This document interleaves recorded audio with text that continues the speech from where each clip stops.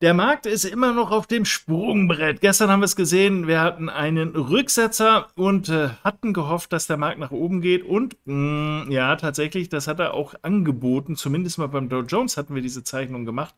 Ich glaube, das war die, die wir gestern besprochen haben. Er hatte zwar zumindest ein bisschen die 38er-Marke erreicht, das Zwischenhoch hier und demnach eigentlich die Long-Situation getriggert mit Zielen, die wir hier oben hatten, nämlich die Bewegung hier vorne, da hinten nochmal. Das ist eigentlich ein ganz gutes Zeichen. Das Doofe ist, er kommt noch nicht in die Puschen. Das heißt, die Korrektur ist offensichtlich noch nicht ganz rum. Wir müssen also damit rechnen, dass es noch ein bisschen tiefer geht und anschließend erst nach oben geht. Ich bin nach wie vor guten Mutes, dass diese Bewegung im Endeffekt folgen wird, insbesondere weil das Bild sich jetzt nun bei allen Indizes widerspiegelt, sowohl beim Dow Jones, beim S&P als auch beim Nasdaq. Und das ist eigentlich ganz klasse. Wenn das ähnlich aussieht, ist die Chance auf Erfüllung eine viel größere. Klar, wer jetzt hier auf der aggressiven Seite den Einstieg gewählt hat und den sehr engen Stop gewählt hat, der ist hier gegebenenfalls schon raus. Das haben wir allerdings ja gestern schon besprochen. Dafür hattet ihr ein Chance-Risiko-Verhältnis, was überirdisch gut ist. Da braucht man nicht bei jedem Trade positiv zu sein. Jetzt wäre es allerdings schon schön, wenn der eine oder andere dann davon auch dann wirklich ins Ziel läuft. Aber die Voraussetzung nach dieser starken Aufwärtsbewegung, dieser aktuellen scheinbaren zumindest mal Korrektur, dass es dann anschließend nochmal nach oben geht, die ist relativ groß. So, und jetzt wollen wir mal gucken, wie sieht es beim S&P aus? Auch den schauen wir uns mal an im 4-Stunden-Chart nochmal ein bisschen genauer. Seht ihr, das ist der Anstieg, quasi analog zu dem, was wir beim äh, Dow Jones besprochen hatten. Hier wäre das letzte Zwischenhoch vielleicht nochmal das Hoch von gestern Abend, 9. Mai, oder so ungefähr beim Future, ich sage es nochmal eben durch, 4145 in etwa. Bitte prüft das, je nachdem, das ist hier der, der Juni-Kontrakt des Futures. Ich weiß, einige haben abweichende Kurse, weil sie was anderes handeln als Instrument. Aber das wäre eine Möglichkeit. Eventuell auch die heutige Vormittagskerze. Das Hoch derer liegt bei ungefähr, wo haben wir es?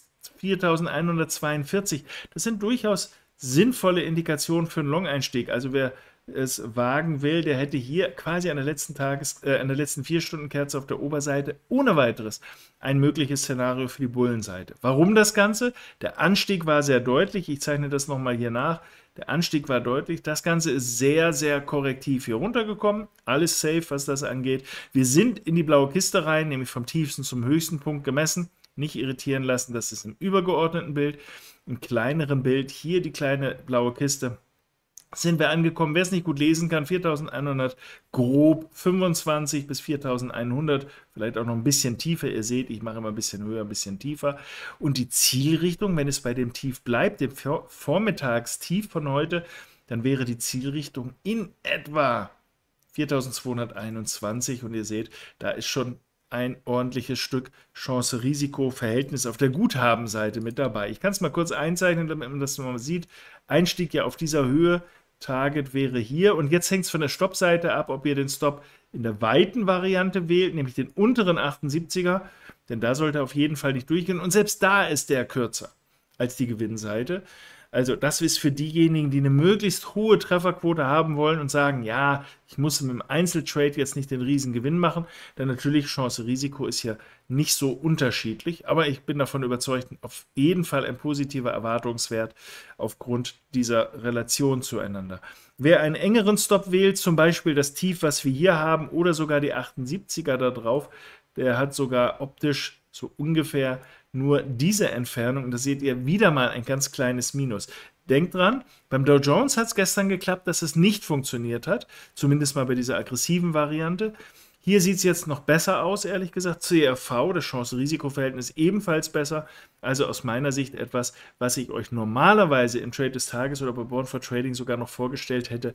Da ich aber auf Reisen bin, zeige ich euch das jetzt so. Und wer diese Videos regelmäßig guckt, der weiß schon, was damit zu tun ist. Wer sie nicht regelmäßig bisher guckt, Schande über euer Haupt, der gucke das jetzt häufiger und dann findet ihr dann schon raus, wie das ist, beziehungsweise ihr kriegt dann meine konkreten Marken. Aber das heutige, das heutige Vormittagshoch ist durchaus prädestiniert für einen möglichen Einstieg.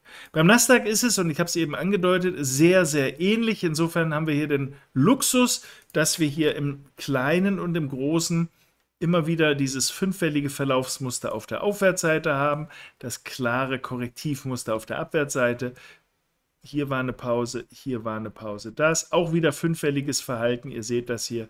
Und wir jetzt hier in dieser Korrektur sind, ihr erahnt schon, wenn ihr jetzt sagt, wer handelt denn S&P?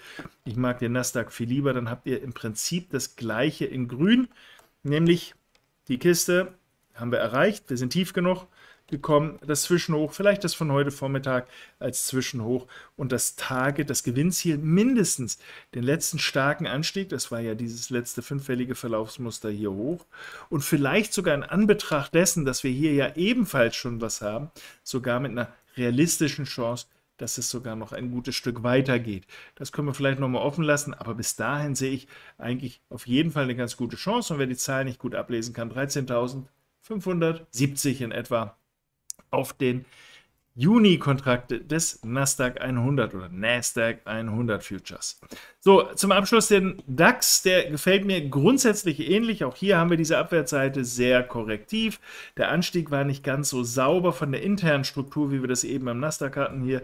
Also insofern bin ich da etwas vorsichtig. Aber auch hier die Erwartungshaltung bullisch.